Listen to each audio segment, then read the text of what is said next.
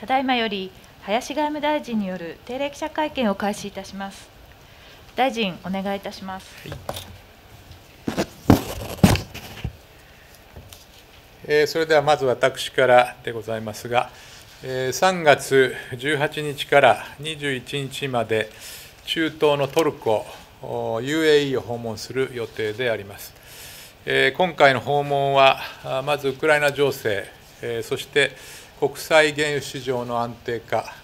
および二国間関係の強化、えーこの3点において連携を確認することを目的としております。えーウクライナ情勢について、トルコはチャブシュオール外相が、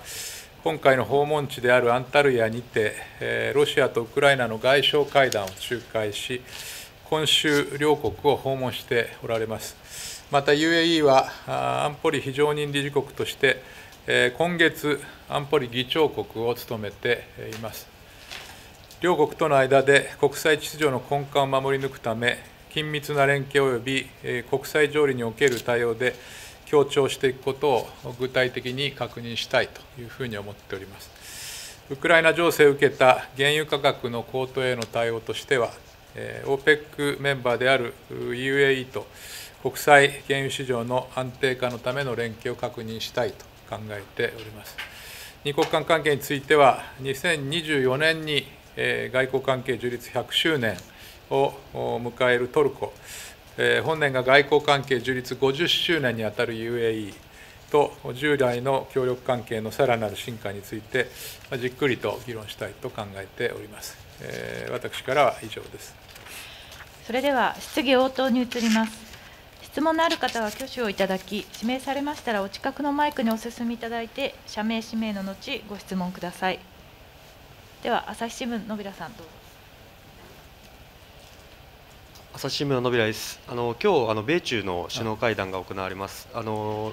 ロシアによるウクライナの侵攻後ですね、初めての会談となるわけですけれども、えー中国側がロシアに対する支援をあのする意向だとされていることに対して、えー米側はそれを警告するものとみられますが、大臣この会談についてはそのご所見をお願いします。はい、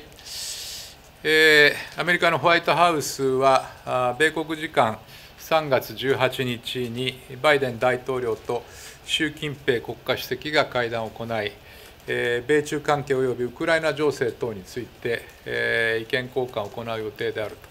と、そういう旨発表したと承知をしております。第三国間の会談について予断を持ってコメントすることは、差し控えたいと思いますけれども、その上でですね、ロシアによるウクライナ侵略について、今こそ国際秩序の根幹を守り抜くため、国際社会が結束して毅然と対応することがまあ必要であり、えー中国に対しても責任ある行動を求めていくことが重要であるというふうに考えてえーおります。では、次の質問。では、えー毎日新聞、どうぞ。毎日新聞の改定です。はいあの今朝の自民党の部会で、あの2015年に前ウクライナ大使から外務省に対して首都キエフをウクライナ語に変えてほしいと文書で、要請されたとの指摘がありました。あの15日の、官房長官の会見ではウクライナ側から、え表記に問題があると申し入れを、受けているわけではないという発言があったんですけれども、それとの齟齬はないのでしょうか。事実関係お願いします。はい、えー今お尋ねのような文書、これを受け取ったという事実は、現時点では確認されておりません。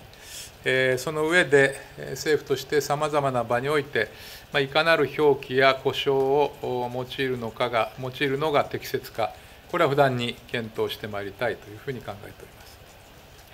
では、毎日新聞さん、どうぞ。追加でお願いします。はい、えっと2014年のクリミア併合以降にですね、あのウクライナの主要都市について外務省では、ウクライナ語に変えてきたというふうになあ指摘もあります。この事実関係、えーと、えーそうであればですね、キエフがその時に変更されなかった理由についてもお願いします。はい、えー外務省ではですね、えー業務の必要性の観点から、まあ、すでに寛容として、えー相当程度定着している、まあ、キエフ等を除いて、ウクライナの地名については、ウクライナ語のに基づくカタカナ表記を使用してきておるということでございます。では、産経新聞どうぞ。産経新聞の杉本と申します。あのロシアに関してお伺いしたいと思います。はい、ロシアによるそのウクライナ侵攻が、うん、あのまあ継続していく中で、そのロシア国内のその言論弾圧とあの人権問題があの懸念をされております。あの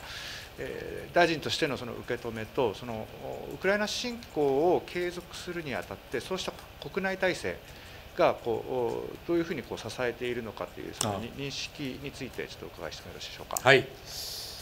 えー、ロシアにおいて報道の自由を制約する法律が成立をし、まあ、それを受けて外国メディアがロシアでの活動を停止せざるを得ない、えー、状況となっております。えー、またロシア国内におけるですね抗議デモに対しても厳しい取り締まりが、えー、行われております。まあ、こうした締め付けは、ロシア政府によるウクライナ侵略の継続と密接に関係しているものというふうに受け止めております。ロシアにおける報道の自由および表現の自由の制限を強く懸念しており、非難をいたします。我が国としては、今後ともさまざまな機会、手段を通じて、我が国の立場を明確に発信しつつ、国際世論の一層の喚起に努めてまいりたいというふうに考えております共同通信、前田さん、どうぞ。共同通信の前です。ロシアとの経済協力に関する予算についてお伺いをします。あの今、審議中の22年度のあ22年度の予算案にそのロシアとの経済協力に関して21億円の費用が計上されています。あの野党の議員からはですね、まあ、これ削除した方がいいんじゃないかという声も上がっておりますけれども、うん、あの政府としての対応をお伺いください。はいえこれらの予算の取り扱いについては、まあ今後のウクライナ情勢やえ国際的な議論の展望、これを正確に、え見通すことが困難である中、今後の状況を踏まえて検討するということが必要であるということから、予算案を修正する必要があるとは考えておりません。次に、読売新聞、安倍さんどうぞ。読売新聞の安倍です。あのモルドバの支援についてあのお尋ねさせてください。うん、あの昨日の G7 の外相会合でモルドバ支援グループ設置することをあの決めたという、えー、ことだと思いますけれども、あの大臣はあのモルドバ友好議連の会長であるとも伺っております。えー、その立場も踏まえてですね、どのようにあのリーダーシップ発揮していきたいと考えか意気込みをお聞かせください。はいえ外務大臣に就任する前、え数年前だったと思いますが、ご縁があって、え日モルドバ友好議員連盟というのが立ち上がり、え会長にご推挙されてきたところで、ございます。その間、え在日、中日の大使との懇談、それからあオンラインであったと思いますが、えこの先方の議員団とのですね、オンラインでの意見交換との交流を通じて、友好を深めてきたところでございます。そうした中で、この外務大臣就任してからも、議員連盟としてのオンラインの会談に一部参加をすることができました。やはりこのモルドバ、我々と普遍的な価値を共有すると。ということでですね、この大変な今、状況になった中で、このいわゆる避難民がたくさん来られているということと、この大変大きな影響を受けてですね、困難に直面しているというところでございます。まあ、そうした中で、昨日の G7 の外相会合の中で、このモルドバに対して G7 が中心となってですね、その支援のチームを立ち上げようということになりましたのは、大変時期にかなったことと、私も思っておりまして、G7 として、またその他の参加国や関係国際機関とも連携して、これをしっかりと進めていきたいというふうに思っております。では共同通信前田さんどうぞ。共同通信の前です。あの在日米軍のマスク着用に関してお伺いをします。うん、あの在日米軍はあの新型コロナの感染拡大に伴う外出制限を、まあ、解除する際にですねあの在日米軍の施設内外においてマスクの、まあ、着用義務を継続しますというふうに言っていたんですけれども、まあ、今月14日に一部それを解除したという話があります。まあ、政府としてこういうなんか通報等々を受けたかということとですね、まあ、抗議と何かこう対応したことがあるかという点についてお聞かせください。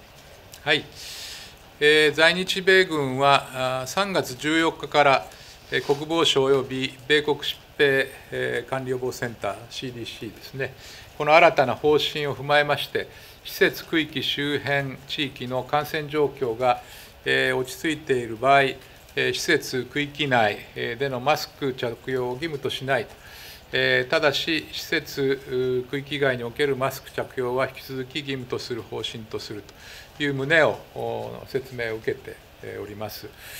この説明を受けまして、日本政府からはですね、アメリカ側に対して、マスクの着用に関する日本国内における考え方、これを説明しつつ、協議を行ってきたところでございます。